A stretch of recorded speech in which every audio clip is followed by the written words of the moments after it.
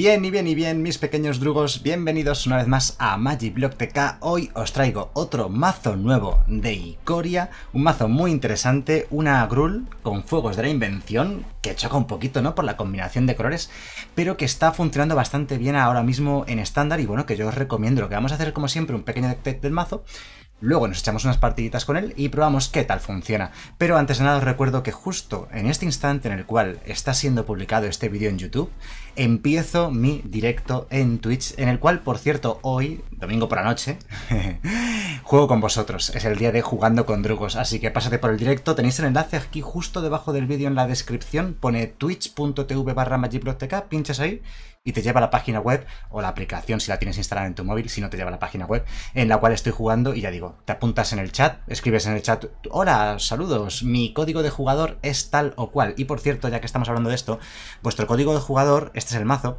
eh, aparece aquí en la parte de arriba a la derecha, de hecho os lo voy a mostrar bien para cuando queréis jugar conmigo.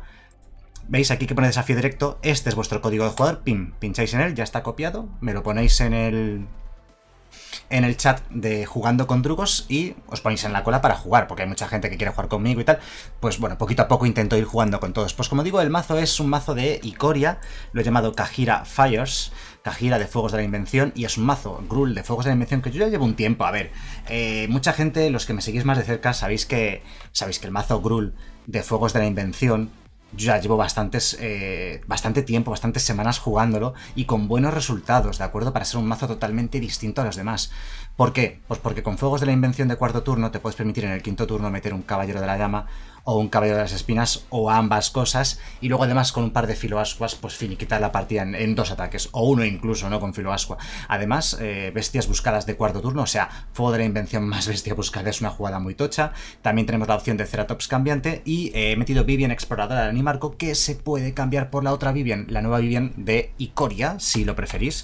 A mí me sigue pareciendo mejor esta Vivian la Vivian la Vivian de, de M20 pero tenemos la de Icoria que por cierto aún no la tengo por eso no aparece tengo que filtrar por sin obtener. No tengo ninguna copia todavía de la Vivian Defensora de los Monstruos, es otra buena opción, pero creo que sigue siendo un poquito mejor la Vivian Exploradora del Animarco y además en este mazo mejor todavía. ¿Qué es lo novedoso del mazo? Diréis, ah, pues si no llevas casi cartas de Icoria, por no decir no llevas ninguna. Sí, llevo una que lo cambia todo. Y es Kajira Custodia Huérfanos. Tampoco es que lo cambie todo, ¿vale? Pero es una carta gratis. O sea, es decir, yo robo una mano de 7 cartas y tengo una octava carta que no está en mi mano, sino que está en mi banquillo, pero la puedo jugar como si estuviera en mi mano. Entonces es pura ventaja de carta. Y vais a ver de aquí en adelante que prácticamente ningún mazo, prácticamente ningún mazo eh, hoy en día en estándar va a ir sin... Em, sin compañero. ¿Por qué? Porque el compañero, hombre, salvo que tiene un, un, pequeño problema, ¿no? Que te aplica una restricción. En este caso, la restricción que aplica es que Dice, compañero, cada carta de criatura en tu mazo inicial es una carta de felino, elemental, pesadilla, dinosaurio o bestia. Y dices, anda, espérate, si es que el caballero de la llama, el caballero de espinas son elementales, el ceratops es dinosaurio, la bestia buscada es bestia, lógicamente, ¿no? El brontodon aplastador que funciona muy bien es dinosaurio, y el herbívoro también es bestia. Y dices, anda, si es que Kajira tiene sinergia con todo el mazo de arriba abajo. Lo puedes jugar de tercer turno y ya digo como si estuviese en tu mano aunque lo tienes en el banquillo, o sea que es ventaja de cartas y a la vez calidad que aporta el mazo. Ya digo, un mazo chulo chulo. Debajo del vídeo, en la descripción, os dejo el listado completo del mazo para que lo podáis exportar a Magic Arena y esto va a ser un poco la dinámica de estos días, ya sabéis, el vídeo de por la mañana, todos los días a las 12 de la mañana hora de España UTC más 2, tenemos el vídeo del mazo del suscriptor y luego por la tarde, ya tarde, tarde, noche, depende un poco de dónde estemos, pues tenemos el segundo vídeo del día en el cual traigo un mazo nuevo, un mazo de actualidad, como es el caso de ayer que trajimos el mazo de Lurrus de sacrificar y hoy traemos el mazo de Kajira Grul eh, Fuegos de la Invención. Porque el bicho es verde-blanco, pero es o verde o blanco, lo que tú prefieras realmente, ¿no? Entonces esa es una de sus ventajas. Y todas las noches en directo en Twitch, más o menos a la misma hora a la cual publico este vídeo. ¿no? Vamos a por Kajira Fires, a ver qué tal funciona. Y ya digo, llevo ya un tiempo jugando la Grul de Fuegos de la Invención y es un mazo que aunque no está en absoluto en el metajuego, nadie lo juega, ahí me da unos resultados bastante decentes, bastante dignos.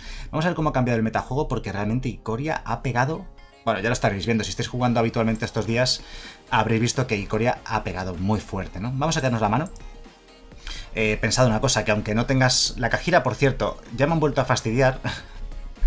Porque ya me han vuelto a, estropear el tema de dónde colocan las cartas. Kajira, cuando llevas un compañero, te lo ponen justo donde tengo puesto mi cuerpo serrano aquí en la webcam, ¿no? Bueno, que sepáis que está ahí tapado por mi, por mi cuerpo serrano.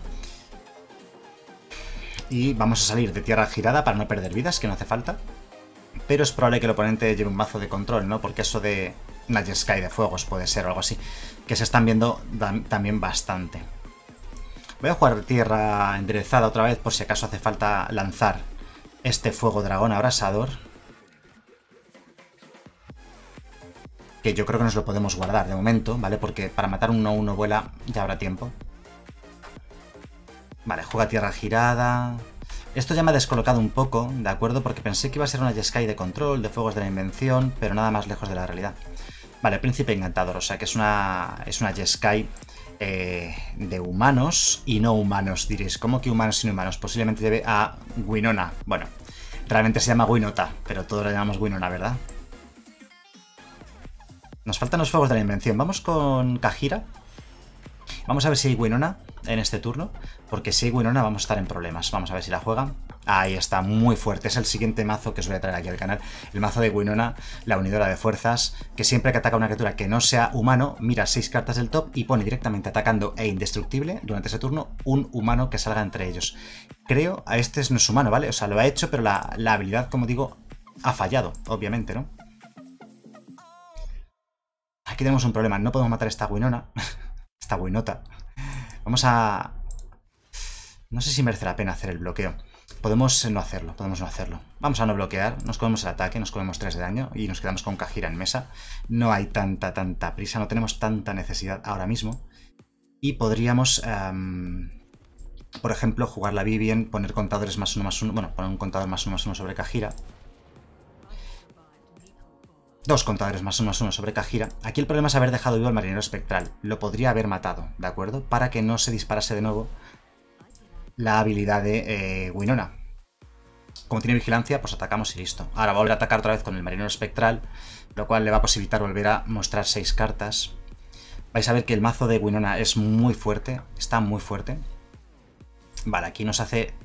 Solo ataca con... Vale, bien, estas son muy buenas noticias para nosotros, como os podéis imaginar, porque ahora podemos matar a la Winona.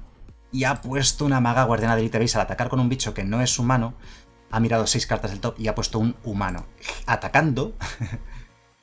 y eh, como atacaba con, con dos no humanos, ha puesto también un agente de la tradición y encima, o sea, es brutal. O sea, nos acaban de pegar una paliza de la cual no podemos eh, salir. O sea, fijaos, al atacar con los dos humanos, eh, con dos no humanos, ha puesto dos humanos del top de la biblioteca. Vale, este es el mazo del próximo mazo que voy a traer. La verdad es que no hemos tenido ninguna opción, sinceramente. Quizás podríamos, en lugar de haber jugado a la Vivian, haber matado su 1-1 vuela para que no tuviese no humanos con los que atacar y no, hubiese, no nos hubiese pegado ese palizón tremendo. Pero bueno, ya digo, va a ser el siguiente mazo. Esperad que no la prohíban. ¿Habéis visto lo absurdo que es? Con cualquier bichejo que tuvieses, simplemente juegas Winona, atacas con el bicho que ya tenías y ya disparas, pones gratis un humano. Y el problema problema, como estáis viendo, es que el agente de la tradición es humano. Poner gratis en mesa una criatura de la calidad de la agente de la tradición, una criatura que cuesta 7 de mana gratis y atacando indestructible, o sea, es que es un suma y sigue todo muy bueno. También es cierto que Winonas son legendarias y solamente puedes llevar 4 y requiere tener otras criaturas. Pues que si no sería la mejor carta de la historia de Magic, claro, lógicamente. Vamos a ver si jugamos una partida más normalita en la cual podamos un poquito explotar la calidad de este mazo, que no la hemos podido ver realmente, ¿no? Porque nos ha, nos ha ganado muy rápido. Y creo que he cometido el fallo. Creo que he cometido un fallo al no utilizar el fuego dragón, el fuego dragón abrasador sobre su, eh, sobre su criatura no humano, ¿verdad? Con la cual nos ha atacado y ya ha disparado la... Aunque también se habría hecho lo mismo, ¿vale? Porque ha jugado un, un jefe de guerra de la legión, ha puesto un trasgo y ya con ese trasgo ya tiraba hacia adelante. El problema de esta mano es que no tiene mana rojo. Así que vamos a hacer mulligan y esta mano está bastante mejor, nos la vamos a quedar. Vamos a quitarnos un Caballero de la Llama, dado que tenemos dos, y el resto de cartas son bastante buenas. Sale nuestro oponente. Hemos hecho mulligan, o sea, tenemos aquí un par de cuestiones que juegan en nuestra contra. Pero no pasa nada, si es Magic, ¿no? Unas veces juega a tu favor, otras veces juega en tu contra, el factor azar, ¿no? Como solemos decir siempre. Y no hay que tomarse la tremenda, sino que hay que, hay que ser objetivo con estas cosas. Vamos a ver, juega el pasaje, bueno, activa la habilidad del pasaje leyenda, sacrifica el pasaje leyenda, busca una tierra básica en su mazo y esa tierra básica es... Por cierto, nuestro rival muy coqueto, que lleva las fundas del Mundial, las fundas del Campeonato del Mundo, y además tiene de eh, compañero el trofeo del Campeonato del Mundo, las dos cosas. Vale, pasaje de leyenda llanura. Como sea otro mazo de Winota... No, porque no suelen llevar verde los mazos de Winona, así que supondremos que no lo es. Druida del Paraíso, de acuerdo. Vale, tierra girada este turno, así aprovechamos ese templo. ¿Sabéis que me voy a quedar la tierra? No quiero llegar al quinto turno y no tener 5 de maná. Porque con 5 de maná vamos a hacer doble hechizo muy potente, ¿no? Ahora en el tercer turno, pues depende de lo que él juegue, pero es posible que caiga un Brontodon aplastador o Kajira. Ahora veremos. Todo va a depender de lo que él juegue ahora. Ojos de Loca, muy bien. Tenemos Ojos de Loca sobre una druida del paraíso, así que ya sabemos que es un mazo Selesnia de encantamientos. Y que em, posiblemente jugar el Brontón aplastador sea mejor opción porque puede destruir un artefacto o un encantamiento. Y eso podría, podría darnos la partida, podría ser... Está dudando si girarse o no girarse para jugar otra cosa. Da la sensación de que era eso, ¿no? Vale, jugamos tierra, jugamos el Brontodon aplastador. Además es un buen bloqueador, puede bloquear a la druida del paraíso si no crece. Digo yo que la va a hacer crecer. Pero sobre todo, como os digo, destruye encantamientos o artefactos, así que quizás nos pueda dar un, respiro, ¿no? Vale, el rival o está jugando muy lento, muy distraído, o está pensando si girar la druida del paraíso. Bueno, o sea, ya no había ninguna razón para no girarla si hubiese querido si tenía un instant, pero supongo que no son instants lo que tiene. Elliot, uy, interesante. Interesante, salvo que juegue algo más, no puedo atacar, lo cual está bien. Y con el... Vale, perfecto. Jugamos tierra. Creo que vamos a hacer fuegos de la invención. Sí. Más Kajira. Sí, esa es la jugada. Fuegos de la invención. Kajira. Y atacamos con el Brontodón. Coste cero, obviamente que gana la habilidad de vigilancia, más uno más uno de vigilancia, o sea, se convierte en un 4-5 ya bastante contundente. Y de hecho el siguiente turno es posible que seamos letales, hombre, salvo que Laura se ponga a matar nuestras criaturas o, o juegue alguna otra criatura muy grande, podemos hacer Caballero de las Espinas más Caballero de la Llama, o incluso podemos hacer solo el Caballero de la Llama y Filoascua. También nos daría, también nos daría para eso. Creo que va a ser la opción que vamos a elegir, casi seguro. O sea, él tiene dos de devoción ahora mismo. Es el 2 que vemos aquí debajo. Vale, este 2 que aparece aquí, supongo.